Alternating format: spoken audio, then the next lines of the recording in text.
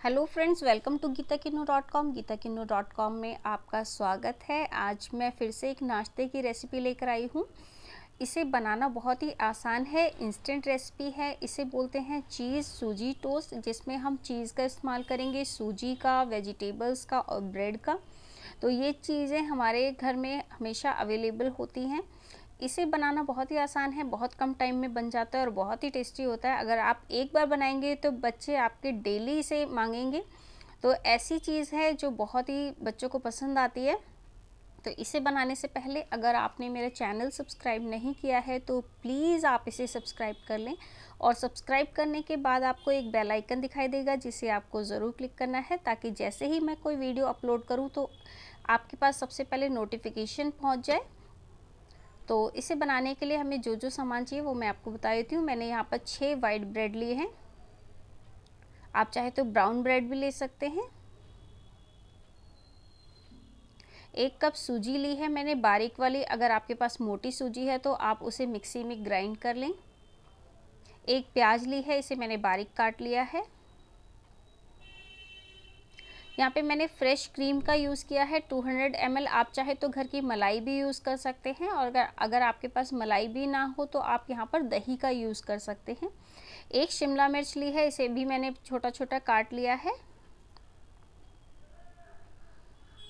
एक टमाटर, इसे भी मैंने बारीक काट लिया है। नमक स्वाद अनुसार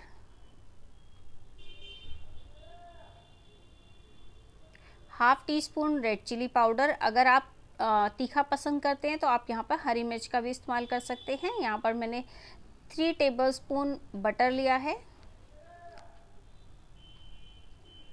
और मैंने मोजरेला चीज़ लिया है, या पिज़्ज़ा चीज़ प्रोसेस चीज़ जो भी आपके पास अवेलेबल हो, वो आप यूज़ कर सकते हैं। सबसे पहले हम एक बाउल लेंगे, इसके अंदर हम सूजी ऐड करेंगे। प्याज ऐड करेंगे। शिमला मिर्च ऐड करेंगे। टमाटर ऐड करेंगे। नमक ऐड करेंगे। लाल मिर्च ऐड करेंगे अपने टेस्ट के हिसाब से। क्रीम ऐड करेंगे। आप चाहे तो घर की निकाली हुई मलाई भी ऐड कर सकते हैं, क्रीम की जगह। अब हम इसे अच्छे से मिक्स कर लेंगे। हमें एक थिक बैटर बनाना है, पतला नहीं होना चाहिए।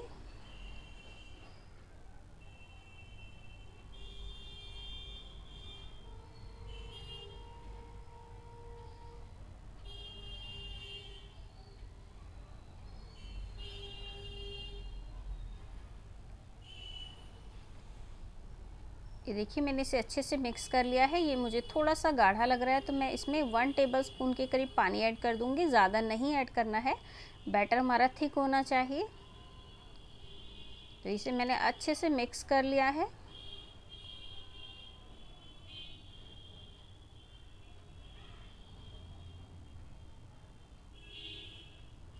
अब हम इसे ढककर रख देंगे और दस मिनट के लिए ताकि जो सूजी है वो अच्छे से फूल जाए। दस मिनट हो चुके हैं, हमारी सूजी अच्छे से फूल चुकी है। एक बार चेक कर लेते हैं, बैटर बिल्कुल परफेक्ट है। हमें इसी तरह का गाढ़ा बैटर चाहिए। तो इसे अब मैं साइड में रख देती हूँ, ब्रेड स्लाइस ले लेंगे। ब्रेड स्लाइस के ऊपर हमें इसे लगाना है बैटर को।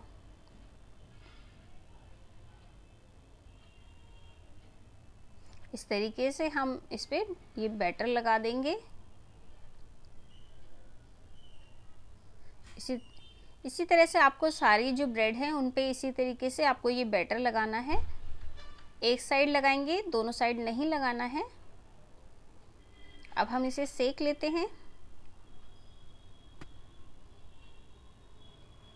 ये मैंने गैस पे एक नॉनस्टिक पैन रखा है, इस पर हम हल्का सा बटर लगा देंगे। और इस पर हम ये ब्रेड रख देंगे बैटर वाली साइड नीचे रखनी है। और इसे हम दो से तीन मिनट तक पकने देंगे, एक साइड से मीडियम फ्लेम पे।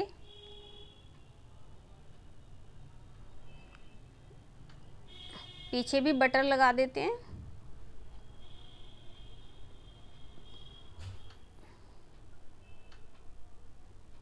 और इसे एक साइड से पकने देते हैं। ये एक साइड से पक चुका है, मैंने इसे पलट दिया है, हम इसे दूसरी साइड से भी पकने देंगे और ऊपर से हम इस पर चीज़ ग्रेट कर देंगे। आप इसे बिना चीज़ के भी खा सकते हैं, बहुत ही टेस्टी लगता है, पर बच्चों को चीज़ बहुत पसंद है तो आप इस तरीके से डालेंगे तो बच्चों को बहुत ही पसंद आएगा।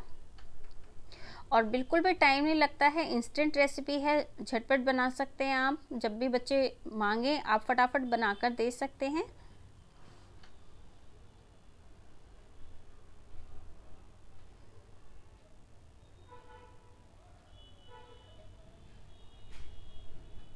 अब इसे हम कवर कर देंगे और दो से तीन मिनट तक इसे लो फ्लेम पे पकने देंगे जब तक कि चीज़ मेल्ट ना हो जाए। ये देखिए चीज़ हमारी अच्छे से मेल्ट हो गई है और ब्रेड भी हमारी सिक चुकी है।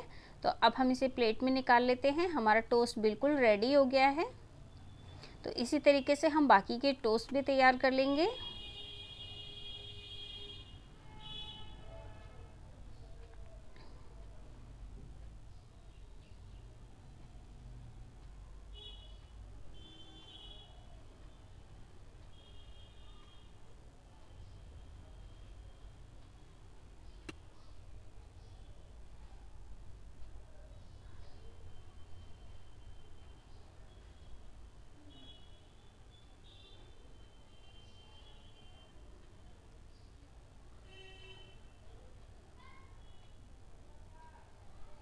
ये देखिए हमारा जो दूसरा टोस्ट है, वो भी तैयार होने वाला है।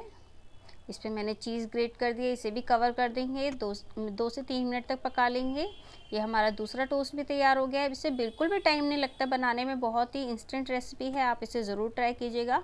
और अब मैं जो नेक्स्ट टोस्ट बनाने जा रही हूँ, उसमें मैं चीज़ नहीं लगाऊँगी। आपको दिखाती हूँ, बिना चीज़ के भी आप इसे बना सकते हैं। अगर आपके पास चीज़ नहीं है तो भी ये बहुत टेस्टी लगते हैं। इसे अच्छे से हम दोनों साइड से सेक लेंगे।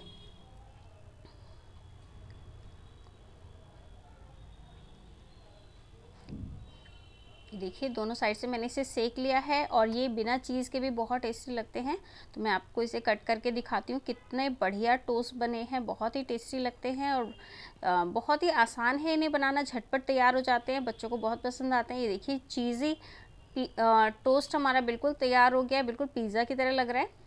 खाने में भी बहुत टेस्टी है तो अगर आपको मेरा ये वीडियो अच्छा लगता है तो प्लीज़ वीडियो के नीचे लाइक का बटन क्लिक करें और मेरे चैनल को सब्सक्राइब करना ना भूलें। मेरी वीडियोस को ज़्यादा से ज़्यादा शेयर करें अपने फ्रेंड्स के साथ, अपने रिलेटिव्स के साथ। ये देखिए, मैंने यहाँ पर दोनों तरह के टोस्ट सर्व करके दिखाए हैं आपको। चीज़ वाले और बिना चीज़ वाले तो जो भी आपको पसंद आए, वो आप बना सकते हैं। बच्चों को बहुत ही पसंद आते हैं और रेसिपी ट्राई कीजिएगा। अगर पसंद आती है तो कमेंट ज़रूर कीजिएगा।